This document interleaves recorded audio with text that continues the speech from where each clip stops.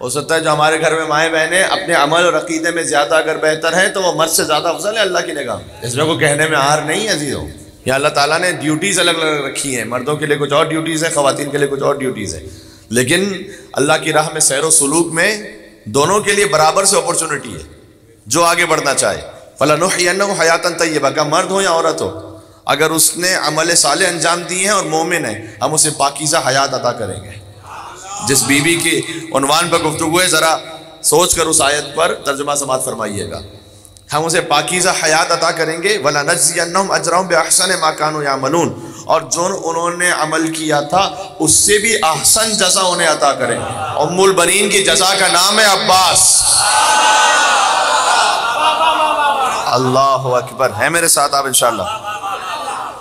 अच्छा एक और आयत सुन लीजिएगा सूर्य अहजाब की आयत नंबर पैंतीस है। दस सिफतें अल्लाह ने ज़िक्र की हैं, चाहे मर्द हो या औरत। का इन्नल मुस्लिमीन अवल मुस्लिमात से वलमोमिन वलमोमिनत से वलकानतीन वलकानतात वसादकीन वसादक़ात वसाबरीन वसाबरात वलखाशीन वलखाशात वलमतसदीन वलमतसदक़ात वसाइमीन वसाइमात वलहाफिदीन फ़रूज वलहाफ़ात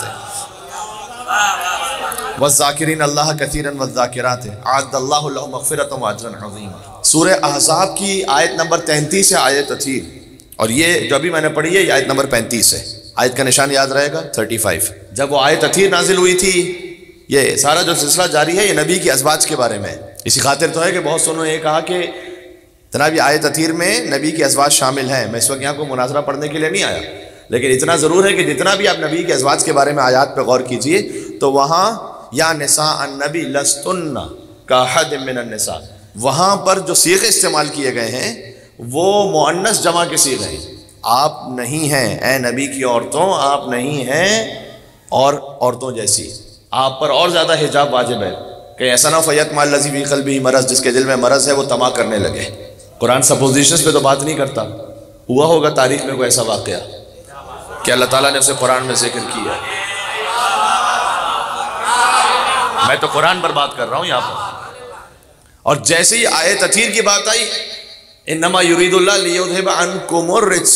अनकुन्ना नहीं अनकुमरबैत यहाँ सीखा ही बदल गया अंदाज ही बदल गया यहाँ पर यहाँ पर बात हो रही है एक खानवादे की इसलिए अनकुम है मुजक्कर जमा की बात हो रही है यहाँ पर अनकुम अहलबाई वही होता है ततीरा जब आयत नाजिल हुई सरकारी खत्मी मरतबा आते हैं दर सैदा पे खड़े होते हैं छः महीने तक सलाम करते हैं सलाम वालेकुम या थी नबुआ ये सब जानते हैं अच्छा हुजूर एक ख़ास घर से तशरीफ़ लाते थे हुजूर जहाँ कहीं भी मुकीम थे वहाँ से तशरीफ़ लाते थे दर सैदा पे खड़े होते थे कहते थे असलम वालेकुम या नबी थी नबुआ और फिर तशरीफ़ ले जाते थे नमाज़ पढ़ने के लिए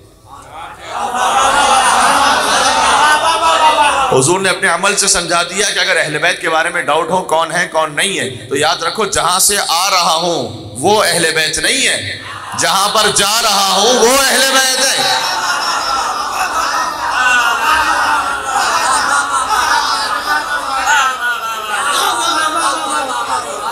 बहुत वाजे है या नहीं है? नारा हैदरी कहने पे किसी ने पाबंदी तो नहीं लगाई हुई यहाँ पर? ठीक।